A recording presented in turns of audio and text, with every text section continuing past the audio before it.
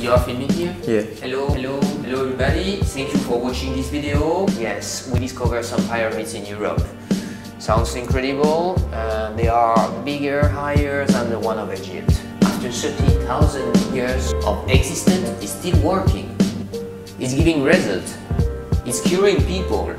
It's going to bring us solutions for energy, solutions for health, solutions for communication. We are able to record those phenomena and it's very valuable for everybody. There is a lot of scientists working there, but the media are cutting.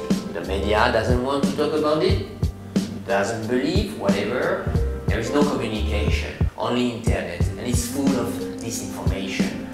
And it's full of information. How do you want to do the difference? I did the trip to go to verify by myself, and I understand a lot of things. We have here some incredible machine still working.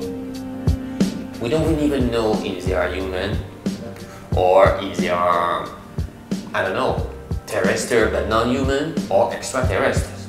We see the, the, electricity, we see the magnetism, we can measure it with machine. Everything is very concrete. My goal is to coordinate all those scientists, to understand how it works, and to be able to reproduce those technology. If we understand how this civilization was living, working, uh, curing themselves, eating themselves, 30,000 years ago they were communicating with other planets.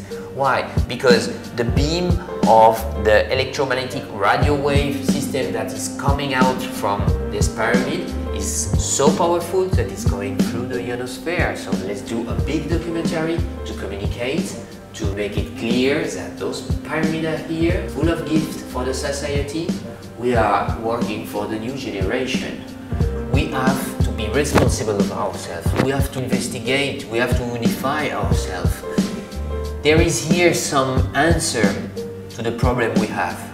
So I propose to unify yourself by this wonderful website and invest a bit of ourselves.